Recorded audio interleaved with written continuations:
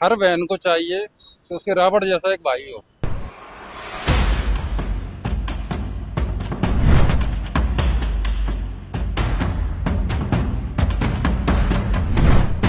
जो आज की जो विचारधारा है, रावण की विचारधारा फिर भी ठीक थी, क्योंकि माँ सीता उनके राज में भी सुरक्षित थी, लेकिन आज के जमाने में हम लोग सुरक्षित नहीं है।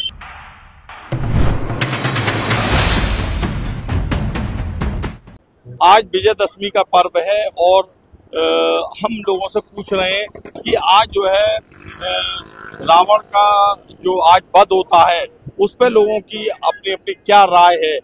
रावण का वध क्यों हो रहा है? रावण का तो फिर अपने उसके कर्मों के कारण था लेकिन था बहुत बड़ा ज्ञानी था वो रावण।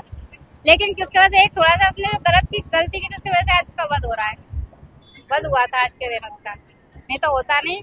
बस यही कि जो अच्छे कर्म करें और कर्म के अनुसार ही चलने में फ़ायदा है। इस अवसर पर रावण के लिए आपके क्या दो शब्द मेरा मानना यह है कि आज के समय में हर बहन को चाहिए कि उसके रावण जैसा एक भाई हो।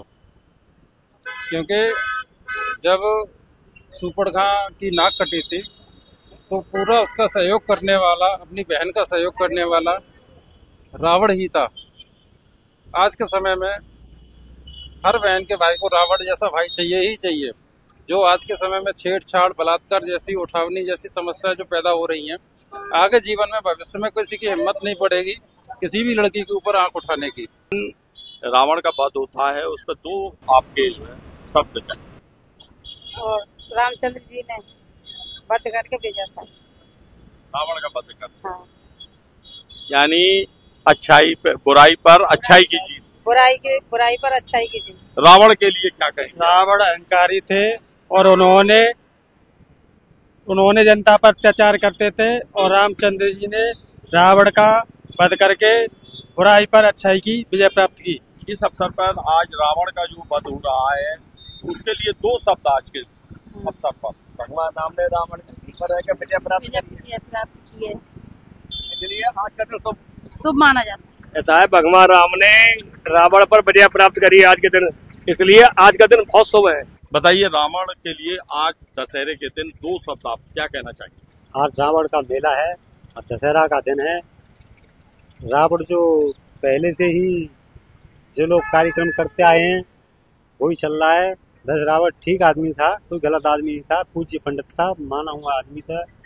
लेकिन इस समय रावण का कलयुग बताते हैं। रावण कलयुग में ही।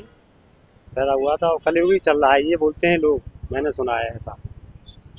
अच्छा ये बताइए केवल दो शब्द हम आपसे पूछेंगे कि आज के इस अवसर पर रावण के लिए आप क्या बोलेंगे? आज के लोगों को देख के तो आज की जो लोग हैं जो आज की जो विचारधारा है रावण की विचारधारा फिर भी ठीक थी क्योंकि माँ सीता उनके राज में भी सुरक्षित थी लेकिन आज के जमाने में हम लोग सुरक्षित नहीं है। आज जो रावण का वध हो रहा है उस पर दो शब्द केवल अच्छाई पे बुराई मतलब बुराई पे अच्छाई की थी। हाँ तो रावण जो है अहंकारी था। हाँ ज्ञानी भी था साथ साथ में अहंकारी भी बहुत था। रावण पे आज के अवसर पर दो शब्द आप हैं। रावण बहुत अहंकारी था। रावण ने सीता माँ का हरण किया इसलिए उसका वध किया राम जी ने। आज रावण का वध क्यों हो रहा है? रावण का वध क्यों हो रहा है?